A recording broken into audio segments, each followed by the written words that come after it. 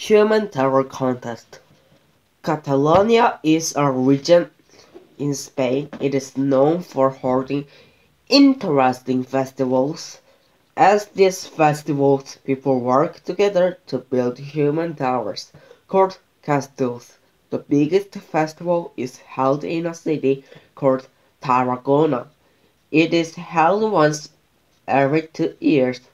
Most recently, it took place in October 2022. Tens of thousands of people joined or watched the event.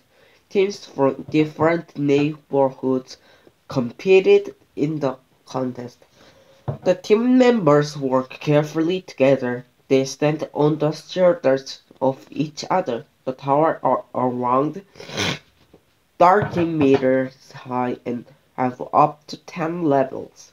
The top level is usually composed of children. That is because they are light and can climb on the top.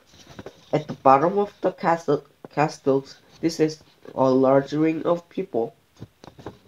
They support the human tower. They are catch those who fall.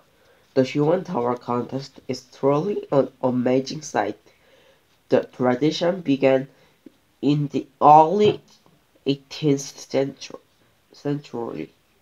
People of the Catalonian region are very proud of their unique tradition.